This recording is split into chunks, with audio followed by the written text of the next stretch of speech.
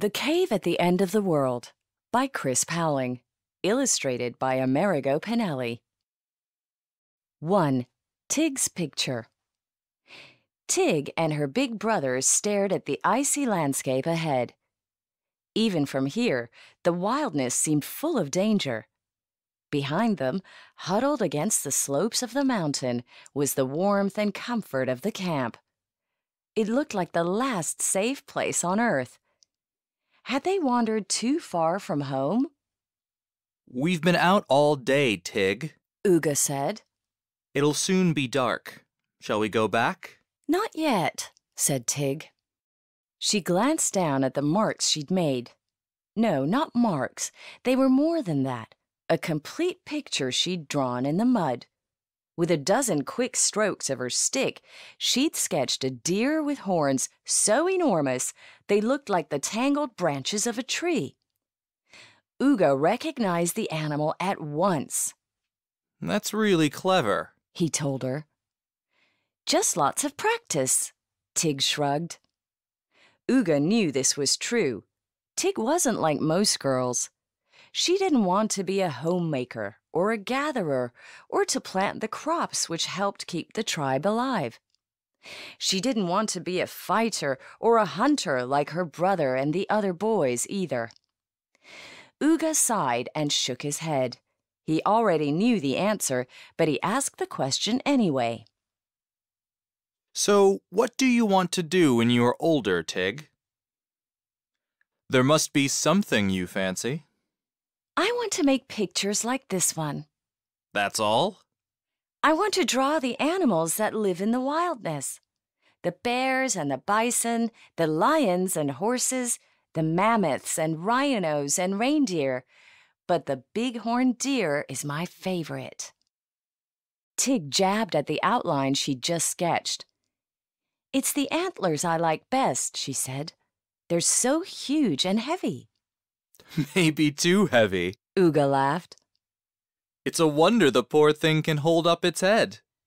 It was the wrong thing to say. Tig hated the idea that one of her beloved animals had a fault. She scowled and turned away.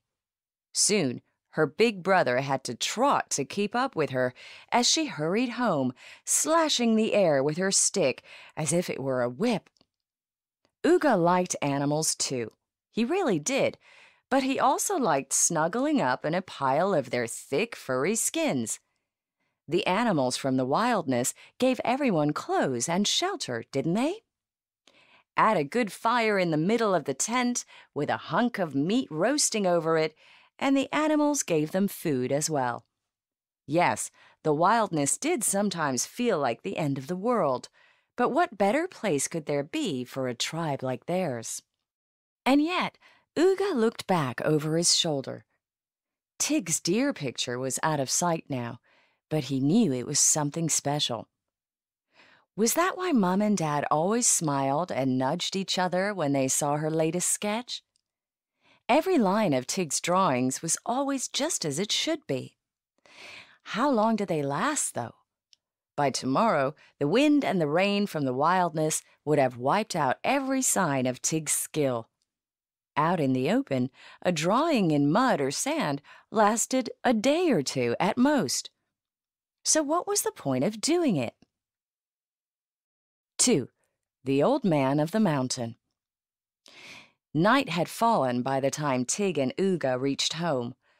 Already, in the cool of the evening, a fire had been lit inside every tent.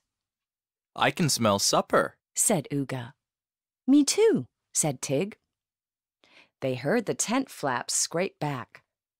Quickly, Dad beckoned them inside. We have a guest, he said. An honored guest, Mum added. A grateful guest, came a voice that creaked like an old tree. In the glow of the fire, their visitor looked a bit like an old tree, too. His hair had a twiggy, leafy scruffiness. His hands were rough and stained. And what were those blobs of red, white, gray, brown, and black on his clothes? Ah, he said. Uga and Tig at last. I'm pleased to meet you. Tig, especially. Me? said Tig. I've been hearing about your pictures, Tig. Carefully, with fingers as knobbly as a tree root, the old man smoothed out the ashes on the fringe of the fire. From his cloak, he took a stick sharpened at the tip. He held it towards her. Show me, he said. Show me your favorite drawing. Tig bit her lip. What if her hand slipped? What if, for once, the picture fell short of her best? She twiddled the stick to steady her nerves. Then practice took over. Flick, flick, flick for the antlers. Dab, dab, dab for the head and the body. Smudge, smudge, smudge for the mystery of the finished animal. The sketch of the bighorn deer seemed to leap out of the ashes as suddenly as the real life creature might leap out of the grass in the wildness. From the tangle of its huge horns to the flash of its hard edged hooves, it made Tig herself gasp at how beautiful it was. See? she exclaimed in delight. What do you think? The old man was sitting as still as a hunter on the lookout. This time, when he finally spoke, his voice was more hoarse than creaky. Perfect, he managed to say.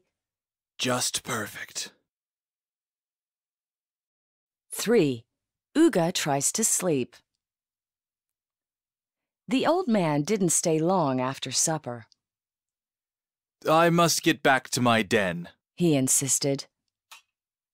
The mountain isn't easy to climb in the dark especially now the rain has begun. But first... Yes? said Tig. First, we must make a plan. A plan? Uga could hardly believe what he heard the old man tell Tig next. The plan was simple. His sister was to set off at dawn next morning to visit the old man's den. Let the bear tracks guide you, he told her. Come alone, Tig. I want to test how keen you are to make pictures.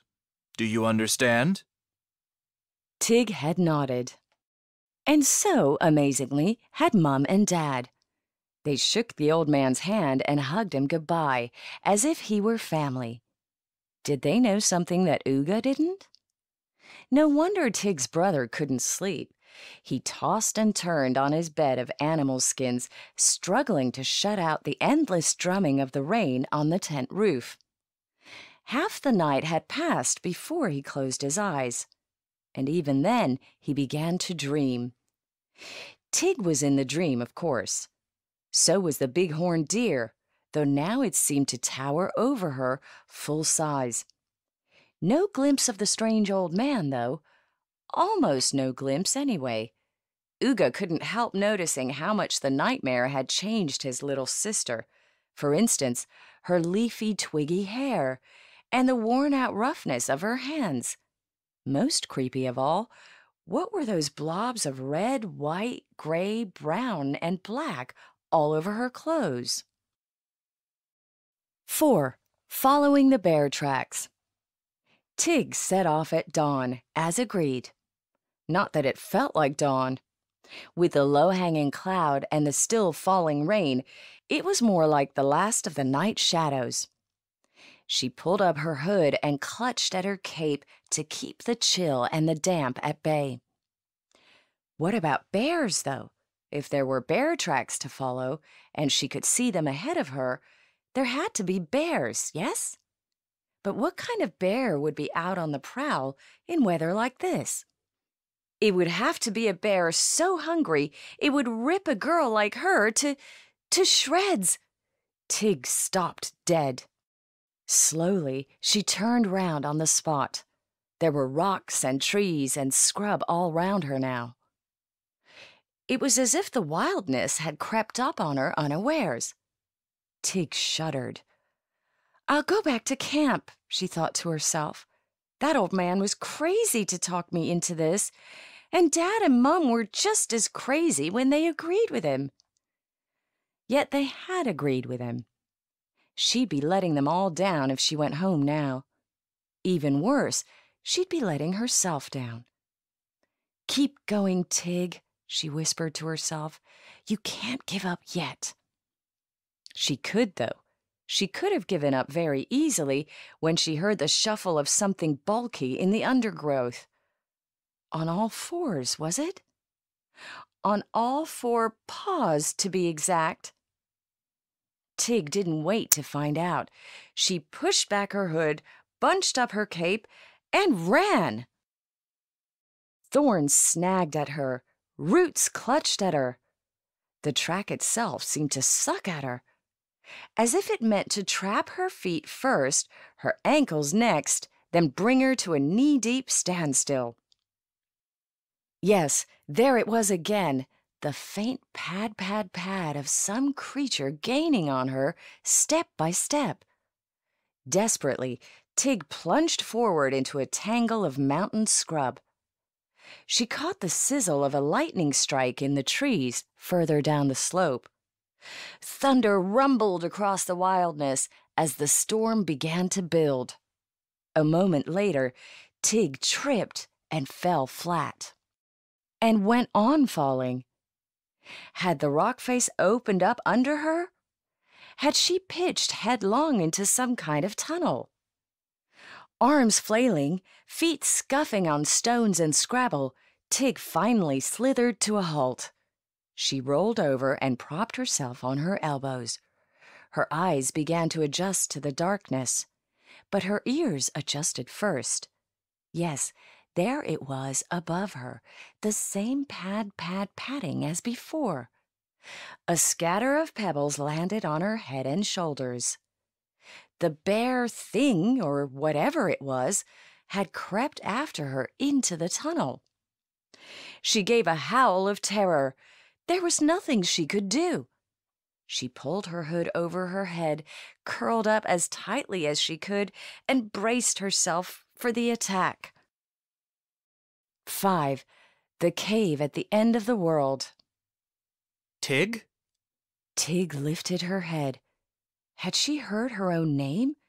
What kind of bear hisses your name before it sinks its teeth in you? Tig! There it was again. Definitely her name. Fear must have driven her mad. It was the only explanation. You had to be mad to believe in a talking bear. Please just kill me and do it quickly, she groaned. Tig, is that you? Uga? Tig pushed back her hood. Barely visible in the gray black gloom, her brother's hand brushed her cheek. I'm sorry, Tig. I know the mountain man said you must follow the tracks by yourself, but I just couldn't let it happen. You might have met a bear. Yeah, said Tig. A talking bear. What? Never mind. Tig, where are we? It feels like some sort of cave. Why did you come down here? I didn't exactly do it on purpose. Ruefully, Tig rubbed her bruises. Without her heavy cape and the thickness of the skins she wore, these might have been a lot worse. She and her brother had been lucky, she realized. Up till now, anyway. Maybe their luck had already run out. Tig? Uga said suddenly. He pointed, and Tig followed his gaze. Beyond them, deep in the cave's dimness, they saw a flicker of light. A torch. Was it the kind of torch the tribe made from roots and animal fat to help them hunt at night? It's him, Tig told her brother. The mountain man? This is his den, Tig said. It must be. The torchlight bobbed and dipped towards them, sometimes disappearing altogether as it ducked under a jutting rock or rounded a pillar of stone. Before long, they could smell the thin, sour smoke of it. Two of you? rasped a creaky old voice they recognized at once. Didn't I tell you to come alone, Tig? I'm her big brother. Uga snapped. I decided otherwise. You did, did you? Yes, I did. For a moment, lit by the slow burning torch, the old man and the young man stared angrily at each other. Then Tig tugged at the old man's sleeve. You can trust him, she said. He was just protecting me the way he always does. He'll keep your den secret, I promise. You think so? I know he will, said Tig firmly. The old man of the mountain stepped back. He looked Uga up and down. Not got much choice, have I? He growled. Watch where you're treading, both of you, and stay as close to me as you can. This wasn't easy in the light of a single torch. At first, they bumped and jostled each other till the old man kindled two more torches in the embers of a dying fire. Hold them upright, he said. They'll burn more slowly. Tig and Uga peered nervously into the shadows. What little they could see was scary. Bones! Tig exclaimed. There are bones everywhere. Nothing but bones and skulls and sticking up ribs. Do creatures come here to die? Uga asked. Mostly to sleep, replied the old man. See those hollows where the floor's worn away? They're bear pits. For grizzlies and their cubs to snooze away the winter till spring returns. Other creatures too? If the bears let them? Tig sighed. Lots of animals are dangerous, I know, deadly even, but I still prefer them alive and wide awake. So do I, child. The old man halted and lifted his torch. He cupped a hand to his ear and listened a moment. Hear that? No? said Uga. Hear what? Tig shook her head. It's the storm gathering outside getting fiercer, bit by bit. This mountain will soon be on the slide, I shouldn't wonder. Neither of them had heard a sound, just a deep, stony, middle of the mountain silence. Uga pulled a face and whispered, Is the old man all right, Tig? The old man is fine, came the tree creaky voice up ahead. And his hearing is better than yours. Now, are you coming with me? Lose yourself in this place, and you'll be lost forever. Where are you taking us? Tig asked. To see some animals. You mean live animals?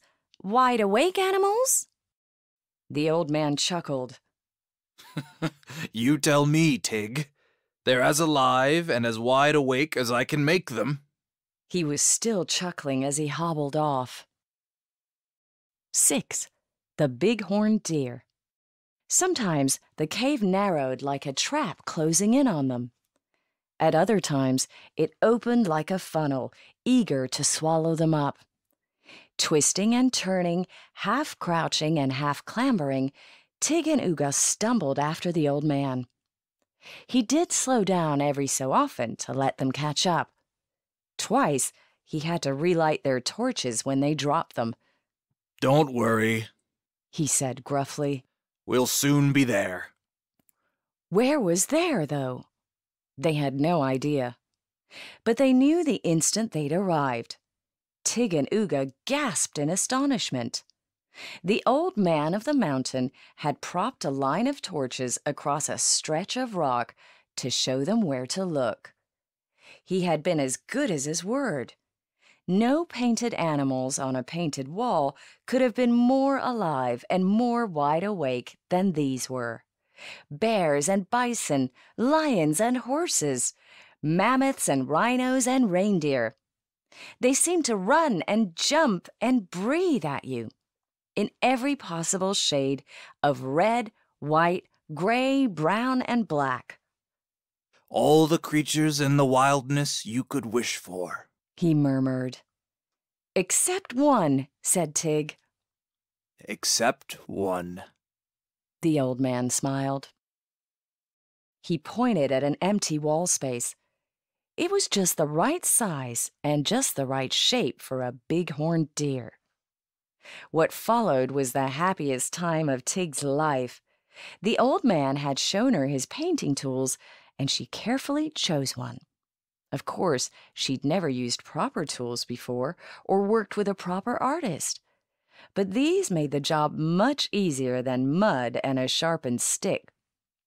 Soon, with every flick, dab, and smudge, she could match the painting skills of the old man himself. With its spiky horns and lowered head, her deers seemed to be charging full tilt at the majestic troop of animals just ahead of it. I could do this day in and day out, Tig sighed. So what's stopping you?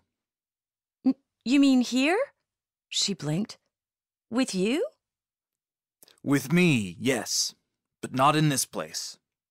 You still can't hear the noise? That slithery sound overhead? This cave is about to be sealed off, Tig. Ask your brother. You've been far too busy to notice him hopping from one foot to the other like a cat in a cooking pot. What can you hear, Uga? It's the start of a landslip, said Uga grimly. I'm sure of it. We'll be buried alive if we're not quick. Then we'd better be quick, the old man said. 7. 30,000 years underground. They took an age to say goodbye to Tig's bighorn deer. They took another age to pack up the painting gear and trim what was left of their torches. As for returning to the tunnel, this took the longest age of all. With every heartbeat, Uga expected the mountain to come thundering down on top of them. Hurry up! He wanted to say. Hurry up! Even out in the open air again, the old man still teased them as he strolled away from the cave's entrance at a snail's pace. We got the timing just about right. He winked. Don't look away now, or you'll miss the show. They almost did miss it. While the sky began to turn blue above the dripping trees, they watched boulders shift, stones splinter, and the foot of the mountain spread wider and wider as the landslide struck. The tunnel's covered up, Tig wailed. And so are the pictures. Still there, though, said the old man. Just hidden. Hidden for how long? Hard to say. But I guess someone will find another entrance into the cave in about a thousand years. A thousand years? Or ten, or twenty, or thirty thousand years, Tig. Who knows? And what does it matter? It's our gift to the people who come after us whenever they discover it. They'll see what used to be here in the wildness. A picture of the past they can keep forever. Better than a few scratches in the mud. Uga grinned. That last only a day or two, added Tig. Her eyes had a faraway look. Already she was dreaming of other tunnels, other caves at the end of the world, and other painted animals whose pictures were so protected they would never disappear. With the old man to train her and Uga to guard her, what more could she wish for than that? The cave at the end of the world. Tig doesn't want to be like the other children.